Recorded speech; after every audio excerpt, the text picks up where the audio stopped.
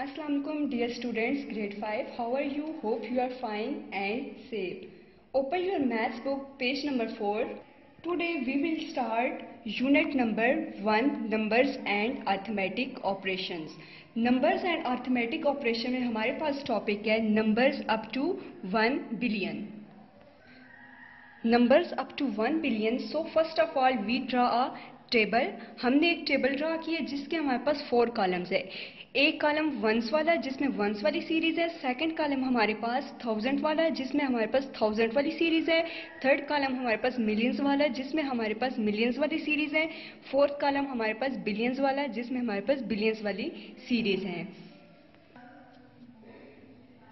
The digit number is one two three four five six seven eight nine ten हमारे पास है one billion one billion हमारे पास word में हमने इसको नंबर में चेंज करना है। नंबर्स में चेंज करने के लिए या वर्ड्स में चेंज करने के लिए हमें दो चीज़ों का ख्याल करना पड़ता है। वो दो चीज़ें हमारे पास first table and second digits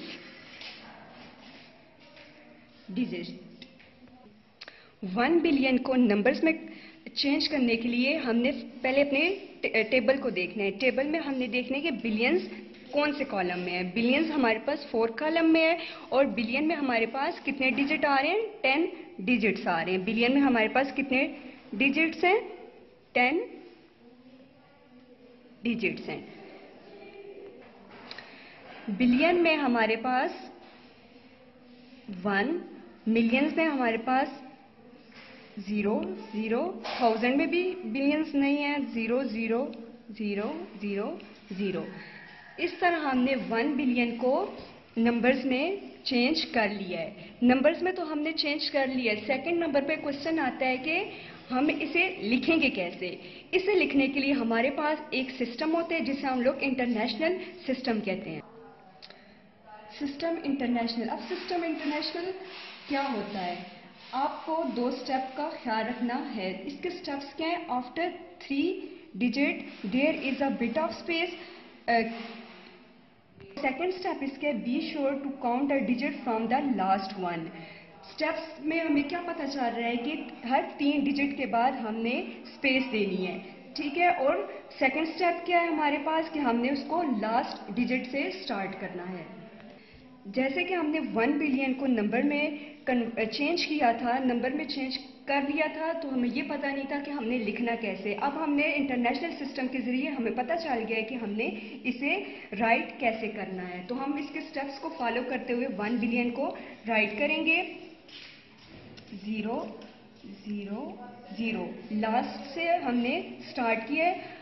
हर तीन डिजिट के बाद हमने क्या करनी है? बिट ऑफ़ स्पेस तीन डिजिट लिखे और उसके बाद हमने स्पेस देनी है। फिर हमने तीन डिजिट्स लिखे, फिर उसके बाद बिट ऑफ़ स्पेस फिर हमने नेक्स्ट थ्री डिजिट लिखे, उसके बाद फिर स्पेस और फिर लास्ट में हमारे पास क्या आ जाता है? वन इस तरह हमने इंटरनेशनल सिस्टम को फॉलो करते हुए हमने वन बिलियन को नंबर्स में चेंज करके लिख लिया है। Now class open your exercise 1.1 page number 8 exercise 1.1 में हमारे पास है question number one question number one क्या है? हमारे पास put comma in the following numbers at appropriate place हमने कॉमा पुट करना है उसकी मुनासिब जगह पर। Now we solve question number one हमने इसकी मुनासिब जगह पर कॉमा पुट करना है। जैसे कि हमने अभी पढ़ा था सिस्टम इंटरनेशनल के बारे में कि हर तीन डिजिट के बाद बिट ऑफ़ स्पेस होती है। इसी तरह हम लोग इसे राइट करेंगे। One three two bit of space इसकी जगह हम कॉमा पुट करते हैं. फोर थ्री सिक्स ये आपके पास क्वेश्चन नंबर वन का आंसर है. इसी तरह स्टूडेंट्स आपने बाकी सारे क्वेश्चंस अपनी नोटबुक पर करने हैं. इस तरह स्टूडेंट्स आपने अपनी नोटबुक को रेडी करना है class work day date unit number one unit number one का नाम exercise 1.1 question number one question number one लिख के उसका फ़र्स्ट क्वेश्चन लिखना है, नीचे आंसर की हेडिंग देनी है और आंसर लिख देना है। इसी तरह आपने सारे क्वेश्चन अपनी नोटबुक पर सॉल्व करने हैं।